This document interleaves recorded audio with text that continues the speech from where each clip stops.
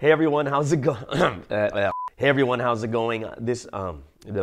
Hey everyone.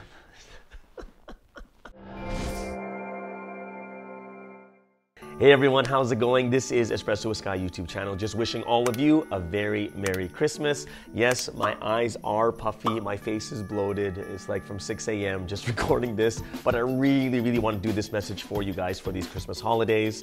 Uh, you know, especially during Christmas time, one of the big things uh, we want to do is just to be thankful. And it's a time to be thankful. When you look at the end of the year, you reflect back on all the things that have happened. I just want to tell you the top three things super thankful for. Number one is you guys out there, very, very thankful for supporting us, for commenting, for liking these channels and sharing it with your friends. So very thankful. You've, you know, you've been a trooper, you've been soldiers, and you've helped us out until this point here and I'm super and grateful, thankful for this. The second thing is, uh, on our side is we have never skipped video, so I'm really, really proud of our team. We've never skipped a video once, right? Yes, we were late a couple of times, but don't worry, I'll blame the editors.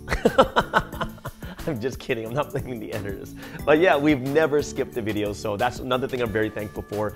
And probably the third thing, uh, well, maybe there's four things. But the third thing is um, we actually started this channel like properly. Like we started off with just live streams in 2019.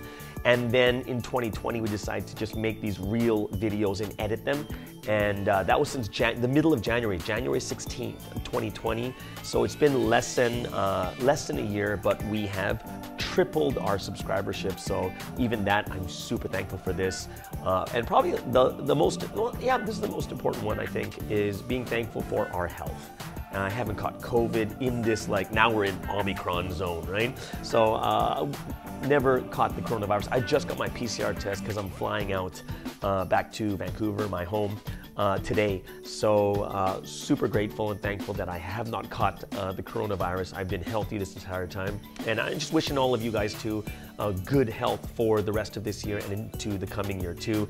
I'm not sure how long this is gonna last, but it seems like it's gonna be here for another year. Just, just from the way things are, probably another variant is gonna come out like this or that. But uh, I, am very, very grateful and thankful. Those are the top four things, I guess, right? We could just say the top three. And uh, for you guys out there, leave a comment below, right? Leave a comment of your top three things you are thankful for. Would love to hear it. Would love to comment on that too. Everyone have a wonderful and amazing Christmas, and we'll see you guys again next week. Thank you so much. All right? Take care. Merry Christmas.